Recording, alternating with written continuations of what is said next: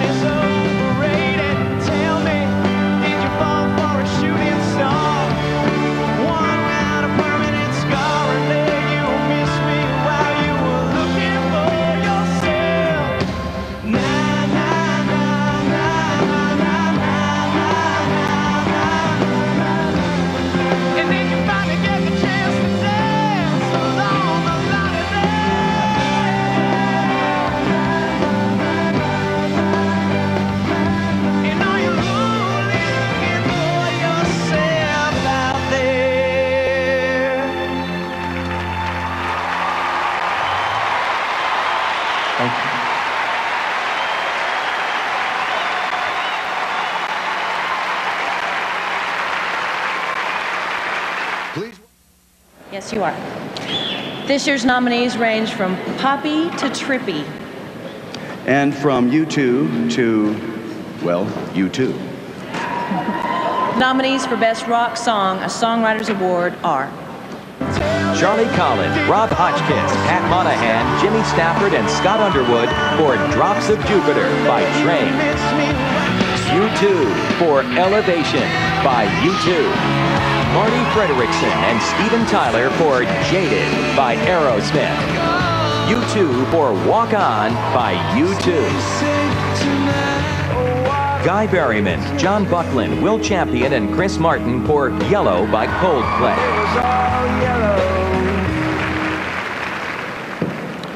And the Grammy goes to You want me to say it? Yep. Charlie Colin, Rob Hotchkiss, Pat Monahan, Jim Stafford, Drops of Jupiter by Train.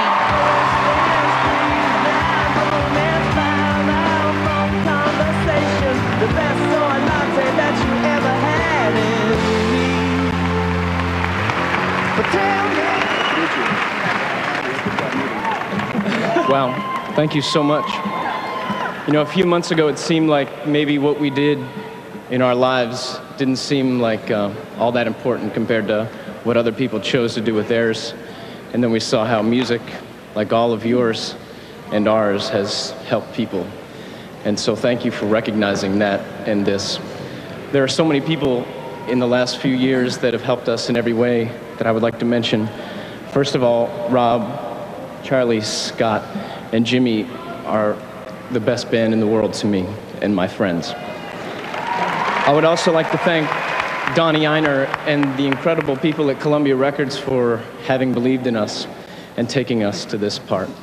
Uh, Jon Landau and Barbara Carr, Alan Leonard, Aware Records, our incredible fans and friends and families, Brendan O'Brien for helping us make a great record, uh, our friend Arnie, and my mom.